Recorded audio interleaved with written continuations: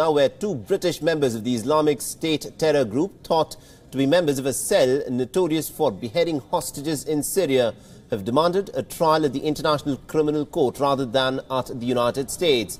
Alexander Amon Kotey, in an interview, said that the trial at the ICC would be a logical option.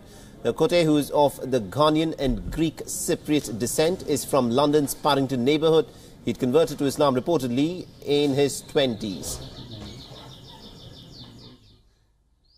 Possibly. Maybe in the international court, probably might be fairer than the US.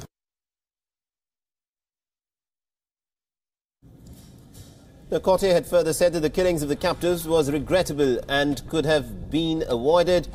Now, the I, IS cell, dubbed the Beatles, became known for its brutality, holding in captivity more than 20 Western hostages and also torturing and killing several of them, including American, British, and Japanese journalists and also aid workers in the years 2014 and 2015. I Didn't see uh, the benefit in executing them. I didn't see uh, the benefit in that for for either party. uh, and I find it strange, and uh, and I'm sure they themselves would have, I'm sure, uh, felt quite abandoned and, the, and uh, annoyed at the fact that the British and the Americans didn't negotiate and didn't come to some kind of agreement for their release. Whereas others, from what we read as well in the media, others came, were released. So I'm sure that this is, I mean, it, it's something that could have been avoided on both parties, both sides.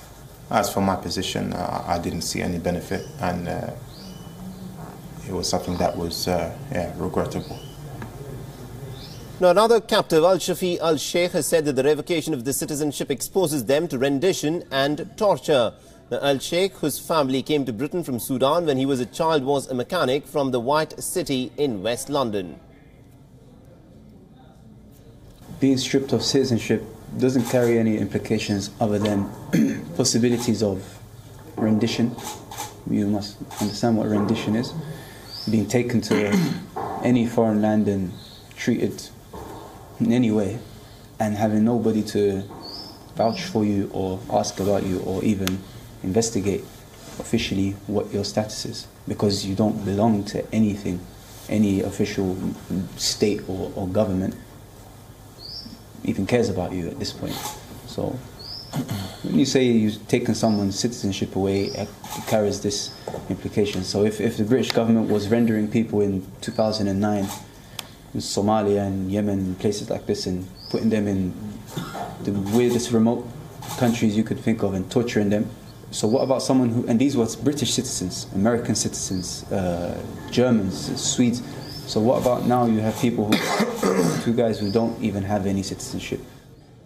The two were captured in early January in eastern Syria by the US-backed Kurdish forces amidst the collapse of the so-called Islamic State. Now, though the two acknowledged being members of the Islamic State group, but they have denied being part of the beheading cell or have been involved in kidnappings or killings. Now, the parents of the victims say that the two should be brought to the United States to face the country's justice system.